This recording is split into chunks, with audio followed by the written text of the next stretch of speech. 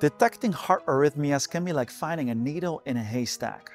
Patients are prescribed devices from 24 hours up to 30 days, but episodes can happen outside the time of monitoring. In other parts of the world, patients cannot afford them due to health inequity. What if we could solve this problem immediately today with something that 86% of the world population already has? I left my aerospace engineering job after my father experienced this problem firsthand.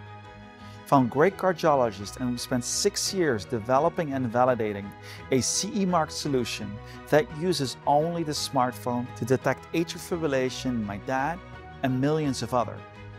This year, we're serving 100,000 patients in the Netherlands but we're not done yet, as we're expanding to a variety of cardiovascular diseases using only the smartphone.